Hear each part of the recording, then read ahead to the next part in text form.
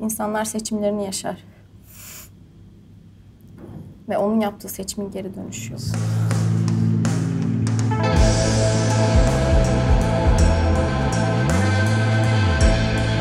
Gelme üstüme iyi olmadı bir şey anlatacak bir şey yok. Ne haliniz varsa görün.